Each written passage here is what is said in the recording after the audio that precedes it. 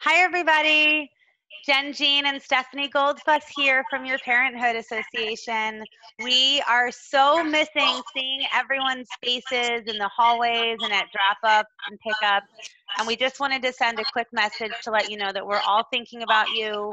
We hope everybody is staying healthy, everyone's staying safe, and keeping a little bit of sanity in these crazy times.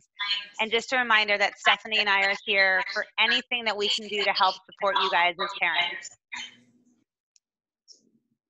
Hi, everybody. Um, just wanted to reiterate what Jen said and also um, let you know that we are working hard. We know there's been some questions about what we're going to do with Staff Appreciation Week and graduation. And, um, you know, we're working hard to figure those things out and then we will let you all know.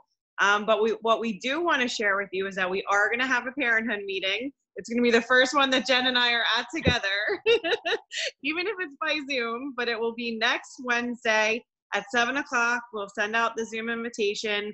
We hope you all can join us, have a glass of wine with us, uh, just like old times, and um, know that we are here for you.